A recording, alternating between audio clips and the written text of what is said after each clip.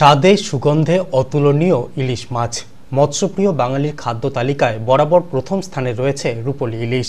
আর সেটা যদি হয় ওপার বাংলার পদ্মার ইলিশ, তবে তো কথাই নেই। বর্ষাকালে মাছের বাজার ছেয়ে থাকে রূপলি ইলিশে।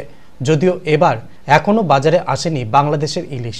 তবে জলপাইগুড়ির বাজারে ফারাক্কা বা দক্ষিণবঙ্গ থেকে কিছু ইলিশ এলেও তার দাম সাতশো থেকে আটশো টাকা। মধ্যবিত্তের নাগালের বাইরে দাম হওয়ায় ইলিশ বিক্রি এখনও জমে ওঠেনি বলে জানাচ্ছেন মাছ বিক্রেতারা। তাদের কথায় আরও কয়েকদিন অপেক্ষা করতে হবে ইলিশ প্রিয় বাঙালিকে। কিছুদিনের মধ্যেই বাংলাদেশি ইলিশ চলে আসবে জলপাইগুড়ির বাজারে। তখন ইলিশের মজুদ বেশি হলেই দামও মধ্যবিত্তের নাগালের মধ্যেই চলে আসবে ইলিশের দাম। চাইলিশ এখনও ঢুকেনি। একদিন ঢুকছিল খুবই পাল্টা মনের মতন না। কবে নাগাদ ঢুকবে আশা করছেন? এই প্রায় বুদ্ধি করে ঢুকে যাবে। মানে এখন কি ধরনের ইলিশ বিক্রি হচ্ছে? এখন ওই স্টোরে ইলিশ বিক্রি হচ্ছে চারশো পাঁচশো গ্রাম ওজনে আটশো টাকা। আর কিছু মাছ বাংলার এদিকে ওই দিকে আসতেছে আঠারোশো দুই হাজার এদিকে।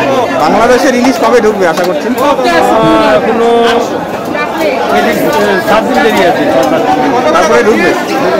তখন কি কম পাওয়া যাবে আশা করছেন? হ্যাঁ হ্যাঁ সবুজ কম পাওয়া যাবে। এখন আমদানি কেমন? একেবারে নেই আমদানি। এখন বিক্রি কেমন? হ্যাঁ? বিক্রি? বিক্রি মাছই নেই ডিমান্ড প্রচুর আছে। এদিকে বর্ষার রূপলি ইলিশের আগমন এবং তার দাম কমার অপেক্ষায় রয়েছেন ক্রেতারা। এখন ইলিশ যেটা আছে সেটা স্টোরের ইলিশ।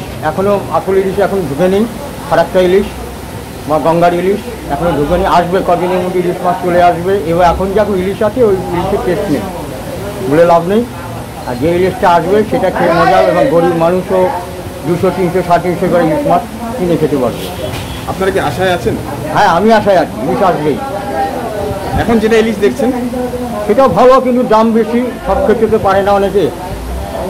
এখন যদি তিনশো চারশো টাকা কেজি ইলিশ মাছ হয় তাহলে খুবই ভালো।